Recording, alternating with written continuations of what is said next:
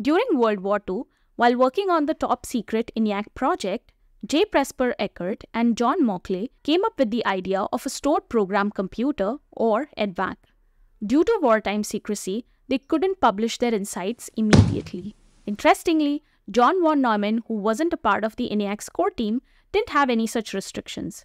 Seizing this opportunity, he published a paper on EDVAC, drawing heavily from the brilliance of Eckert and Mauchly. The report, which was supposed to be a draft, carried only von Neumann's name as the author, omitting the names of other contributors.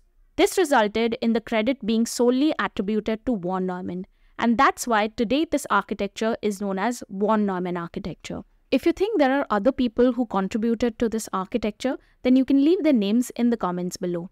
To delve deeper into the concepts related to von Neumann architecture and to compare it with Harvard architecture, watch a full-length video on my channel that has garnered a lot of views.